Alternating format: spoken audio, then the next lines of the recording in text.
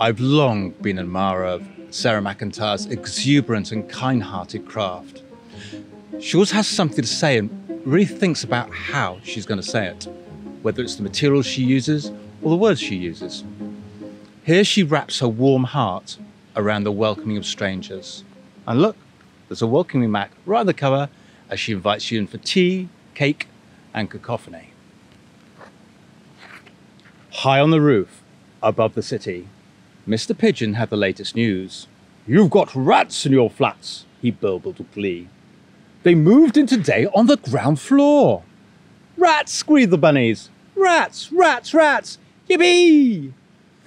I love the fact that the carrier pigeon announcing this news is in fact dressed like the landed gentry who love to shoot grouse.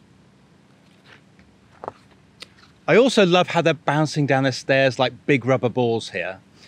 Well, there's plenty of room and quite enough light for the moment.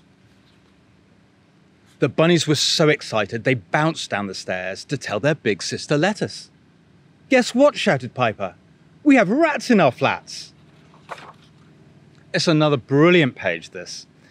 Um, Lettuce's room getting utterly trashed by the overexcited bunnies. There's a, a draft board being disabled, a tower of bricks tumbling. Someone's got their head in the upturned pan of spaghetti. And look, of course there's a family portrait.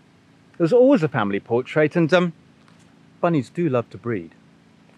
Lettuce said, Hmm, rats. I've never lived with rats before. We should all go and say hi. And of course they should. Of course they should. However, their neighbour Vern is the first to offer up one note of caution. And there is Vern. Vern and Lettuce you might remember from Sarah McIntyre's comic Vern and Lettuce. Rats, mused Vern. I don't think rats are very tidy neighbours. We need to make sure they keep the place clean. Let's gather everyone up in the building and figure out what to do. And that seems okay, but without giving too much away, this is the crossroads. This is where natural inquisitiveness, uh, excitedness, and enthusiasm gives way to unnatural, ill informed gossip. Walter, Matilda, said Vern, we have rats in our flats. We need to make sure the rats know our rules about keeping this place spick and span. Rats, grunted Walter. Oh no! Matilda huffed. Heavens! Rats are messy and they smell bad too. This is awful news. They're messy, are they?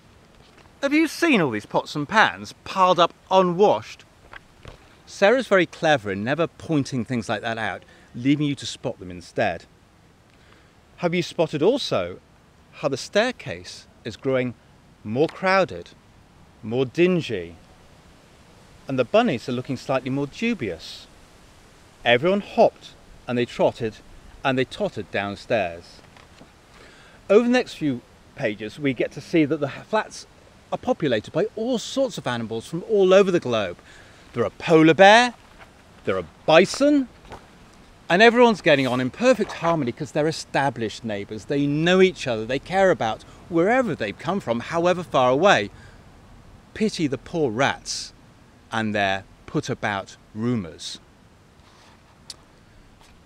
And my, this is a great example of Sarah McIntyre's placement of lettering. Everything fits into the pages just so.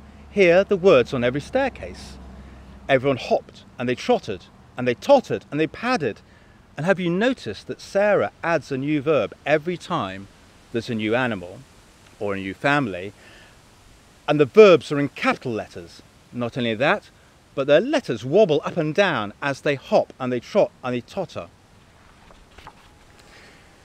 and then it gets really dark as they hopped and trotted and tottered and pattered and clattered and trip over their own ill informed gossip and unnecessary panic into a great big heap on the floor. Dare they knock on the door though? I'm not going to show you what lies inside. I've taken you far further than I would on the shop floor through any book.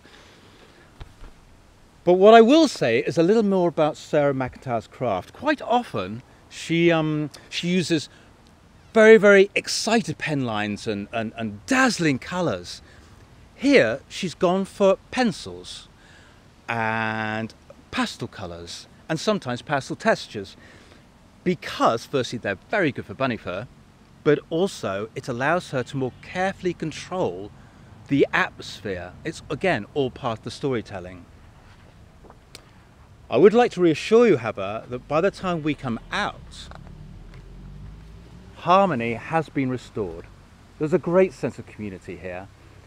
And I don't think it's coincidence that for the very first time since the rooftops, we see daylight coming in. Thank you, thank you, thank you, they shout. See you soon. Jake burped. Rats make the best cake. I want to be a rat when I grow up. Me too.